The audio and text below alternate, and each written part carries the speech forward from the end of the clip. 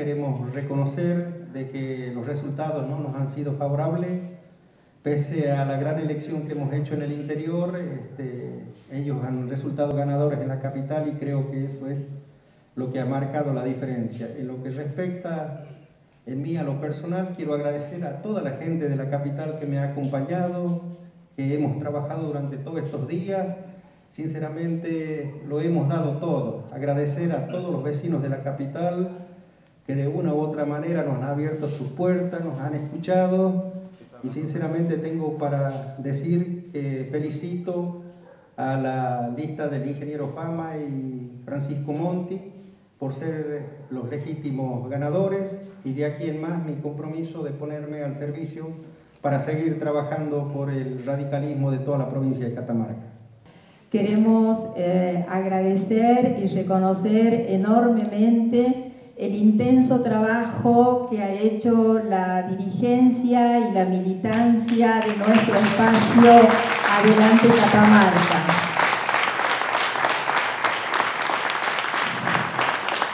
hemos tenido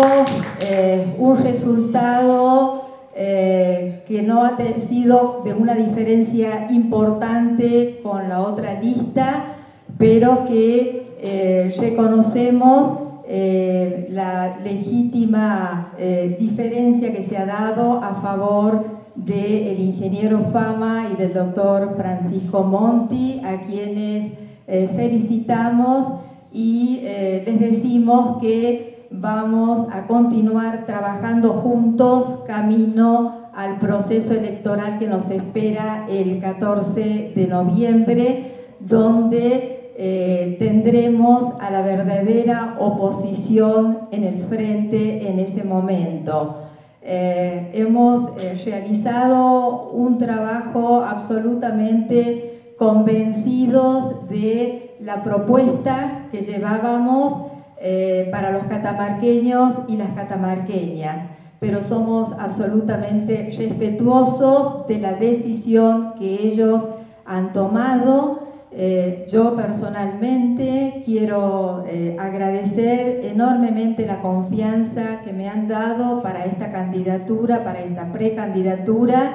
y decirles que voy a seguir trabajando por una unión cívica radical unida, consolidada, competente para poder convocar a otros sectores y generar un proyecto político para todos los catamarqueños y las catamarqueñas.